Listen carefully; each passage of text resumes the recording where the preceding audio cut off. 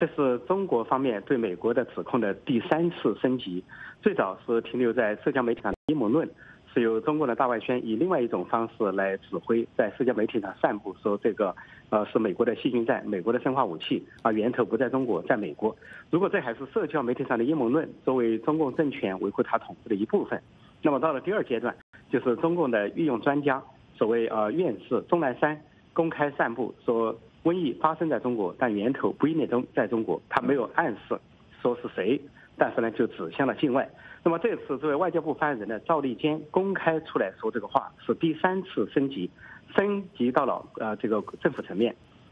而赵立坚不是一般的身份，他是新任的外交部发言人，是战狼式的发言人。那么他用推特的方式发，这个推特的方式是非正式的，啊，但是他的身份是正式的。那么我们接下来是不是还有更进一步的升级？升级到中国政府对美国政府的指控？如果是这样的话，就等于中国向美国宣战，这等同于大清啊末年了，慈禧太后对八国或者十一国宣战，所以这个姿态是非常明确。